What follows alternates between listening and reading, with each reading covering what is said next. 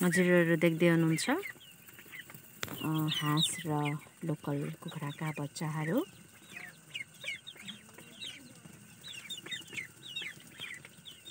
र अलि अगाडितिर बट्टाइहरू छ। त्यसलाई पनि हामी देखाउनेछौँ हजुरहरूलाई।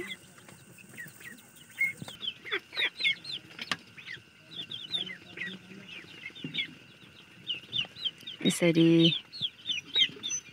अनि बत्तीको वरिपरि बट्टाइका चल्लाहरू दाना खाँदैछ।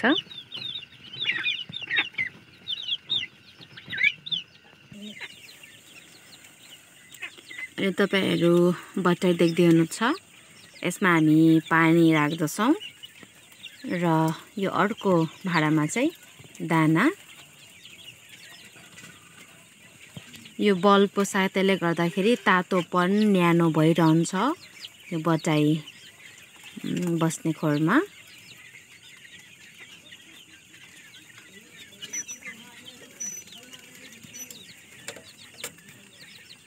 यो अर्कोतिर चाहिँ अलि सानो साइजको बटाईहरू रहेको छ।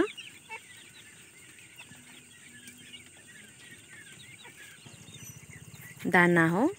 हामीले भेटनेरीहरूमा बी वान भन्ने र बी वानको नामले हामीले लिन सक्छौँ।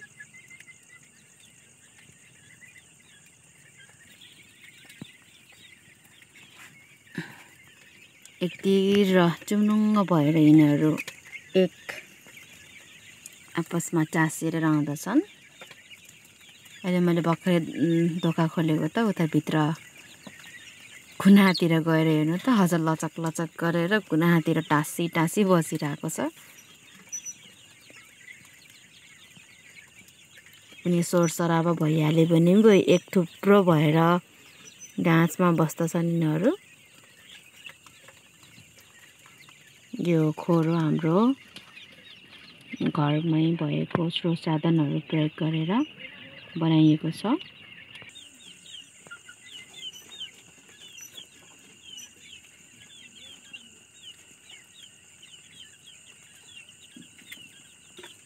यिनीहरूलाई दाना भेटनेरीबाट अनि साइज अनुसारको डे अनुसारको दानाको प्रकार र लेभल हुने गर्दछ। अहिले बी वान हामीले दाना खुवाउनु पर्दछ। यो समयमा खाइरहेको छ। बाह्र बाचा